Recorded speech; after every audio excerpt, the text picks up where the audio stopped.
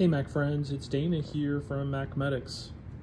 You probably remember your great aunt's house where she had plastic over the sofa.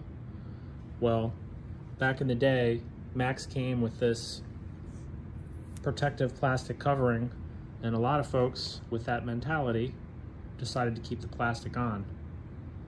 I'm not sure if this one baked itself to death, but you can see the screen.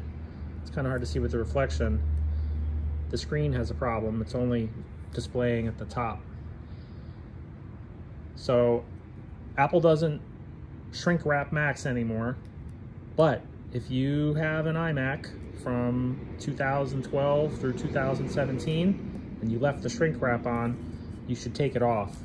And the reason is the Mac does breathe through this edge here at the bottom. So not exactly a pro tip anymore, but this one just came in two weeks ago. Thankfully, we were able to rescue the data off the machine and the customer bought a new Mac.